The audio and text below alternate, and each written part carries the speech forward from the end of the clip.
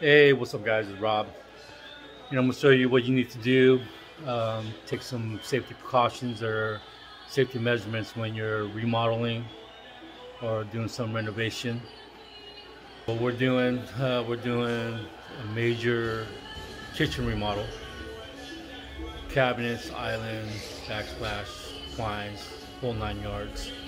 And what we did, we create a barrier that creates a negative pressure. So nothing comes out any dust any smell. So so to protect my tank I got way too much to lose so I'm taking the, the precautions to do so.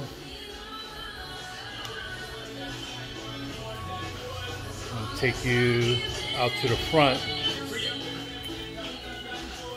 Here's my roof equipment. Staying safe.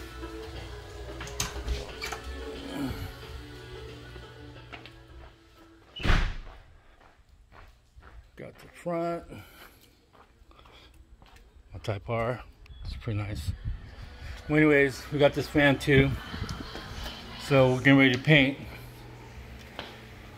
It'll pretty much suck out the paint, uh, the smell of the paint out to the front yard. We have our living room here. We did the same thing so it doesn't get dust onto the pool table and our furniture.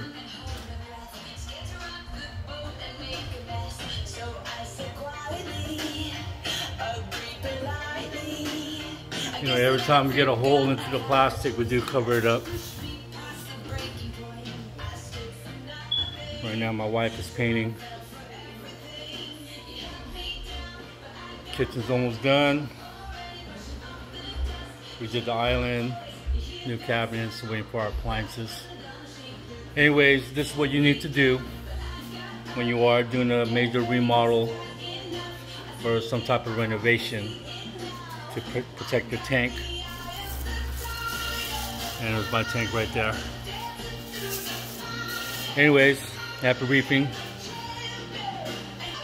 Don't forget to subscribe. Everybody's watching my, my videos.